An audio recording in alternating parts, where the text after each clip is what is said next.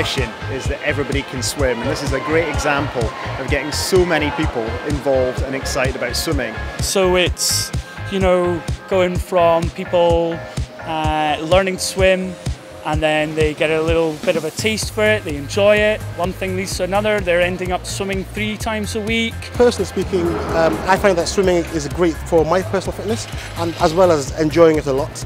Um, and there's always something else that you can pick up and improve on. Well, for me, I think I looked at lots of videos and things, and I don't know if I ever actually knew what I was doing. So to have someone tell you what you should be doing was really good. Um, we've learnt quite a lot about streamlining and um, core, holding your core, and it's been great. It's been really good. I've really enjoyed it. The main focus is about getting adults in the pool but getting them swimming better. It's all about giving people little tips. A lot of people here haven't had lessons for years. I haven't had a swimming lesson for 40 years, so I've come for stroke improvement, leg kicking, um, sort of what you do with your arms. Basically focusing on drills and skills, the, the fundamentals. So what we did today was mainly uh, kicking and uh, our core strength and rolling our shoulders when we're doing front crawl. It's a nice easy pace. So it's not a race to get to the end, it's just getting there and doing it in the best possible way so that they're kind of actively thinking the whole way up the pool. I think I now know what I should be doing.